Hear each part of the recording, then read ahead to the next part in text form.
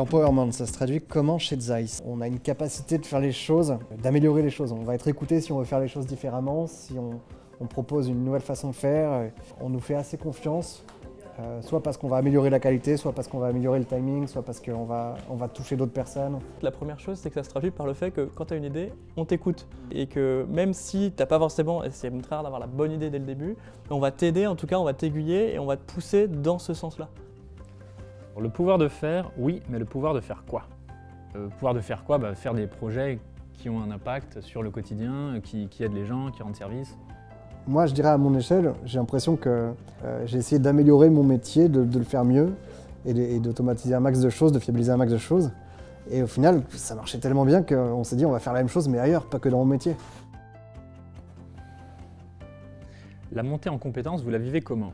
Pour moi, c'est le plaisir d'apprendre, en fait, la curiosité qui fait que euh, on s'épanouit en fait en découvrant de nouvelles choses, en voyant des choses qui sont euh, des technologies qui sont euh, au jour, enfin qui, évoluent encore actuellement. Il n'y a personne qui va dire ah tu sais pas t'es nul ou au contraire on va vraiment t'aider, on va te pousser dans ce sens-là. Et que quand on te dit bah il n'y a pas de mauvaises questions, je sais c'est surtout pas de mauvaises questions. Il y a des gens, des directeurs qui peuvent te prendre une heure, deux heures de leur temps juste pour vraiment t'expliquer quelque chose et tu vas pas sentir que tu vas les déranger, au contraire, ils vont être très contents de le faire.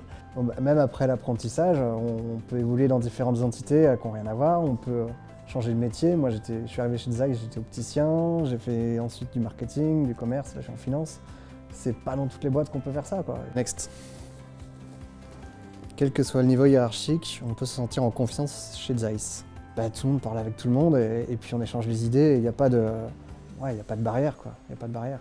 Et j'ai l'impression que même quand on était en apprentissage, on avait déjà eu l'occasion de lancer des projets et de pouvoir faire des choses. C'est gratifiant aussi dans le sens où tu es stagiaire ou alternant, euh, tu as un projet sur lequel tu vas travailler toute ton année, par exemple, imaginons. Tu assumes ton truc jusqu'au bout. Ça va de euh, la création du projet, le développement, le déploiement, jusqu'à la phase finale où on présente aux utilisateurs. Même quand tu viens d'arriver, eh ben, on met vraiment en valeur les idées que tu peux avoir parce qu'on est dans une, dans une industrie qui est tellement particulière qu'en fait, euh, quelle que soit l'idée, ça peut toujours être intéressant.